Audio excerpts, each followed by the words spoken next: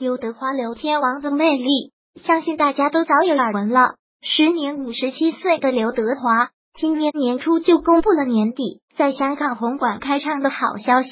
除此之外，这次的演唱会取消了内部认购，除了留给赞助商的门票，剩下的全部公开销售，目的是抵制黄牛党，让刘德华的粉丝们都有机会去到现场看演唱会。九月四号。刘德华香港红馆的演唱票才开始发售，然而日前就已经开始有粉丝在售票处排队。据悉，排队现场第一位和第三位分别放了两个帐篷，而排在第二位的是一位身穿背心短裤的大叔粉丝，接着一张报纸席地而坐，身旁放了一些个人物品。大叔粉丝趁自己二十六号就过来排队了。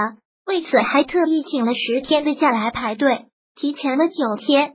另外，大叔粉丝还自带了面包和水，准备奋战到底，只希望能买到最前排的票。目前，离刘德华演出会门票开售还有一周多的时间。排在第四位的是一位外国人，他自称是帮朋友排的，朋友需要回去洗漱一下，而他是被叫来暂时顶替的。并不知道刘德华是谁。在九四年的电影《破坏之王》中，周星驰就向观众展示了排队买演唱会票的激烈程度。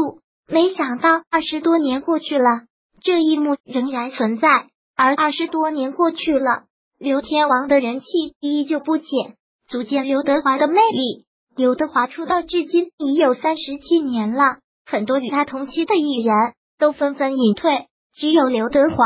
仍然活跃在演艺圈中，粉丝跨越老中青三代，人气几十年如一月般火爆。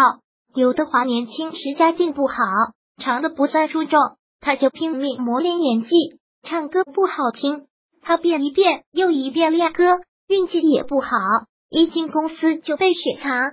但他很渴望当明星，所以很努力，也很勤奋，从被骂没天赋走到今天刘天王的位置。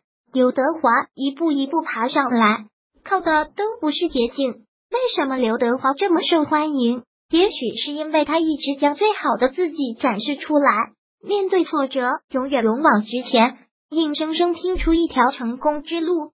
这样的品质，天王、明星、偶像等等措辞，对他而言都是实至名归。